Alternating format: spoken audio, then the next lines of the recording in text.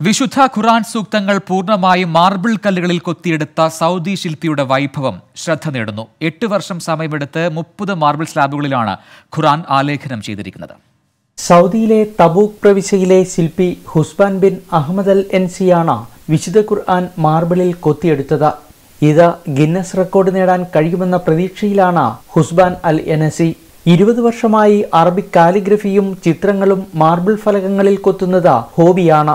പാറക്കഷ്ണങ്ങളിലും ഗ്രാനൈറ്റുകളിലും ഖുർആാനിന്റെ പ്രാരംഭ ഭാഗം രേഖപ്പെടുത്തിയതോടെയാണ് ഖുർആൻ മുഴുവൻ ശിലയിൽ കൊത്തിയെടുക്കണമെന്ന മോഹം ഉദിച്ചത്. പച്ച മാർബിൾ സ്ലാബുകളിൽ ഖുർആൻ സൂക്തങ്ങൾ രൂപപ്പെടുത്താൻ ഓട്ടോമാൻ കാലിഗ്രഫിയാണ് ഉപയോഗിച്ചിട്ടുള്ളത്. നൂറ്റി പതിനാല് അധ്യായങ്ങളും ആറായിരത്തി ഇരുന്നൂറ്റി മുപ്പത്തിയാറ് സൂക്തങ്ങളുമാണ് വിശുദ്ധ ഖുർആാനിലുള്ളത്.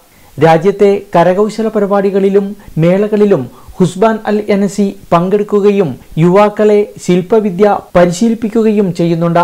പുതുതലമുറയ്ക്ക് ശിലകളിൽ കാലിഗ്രഫി ഉൾപ്പെടെ ചിത്രരചന അഭ്യസിപ്പിക്കുന്നതിന് കേന്ദ്രം സ്ഥാപിക്കുകയാണ് ലക്ഷ്യമെന്ന് അദ്ദേഹം പറഞ്ഞു.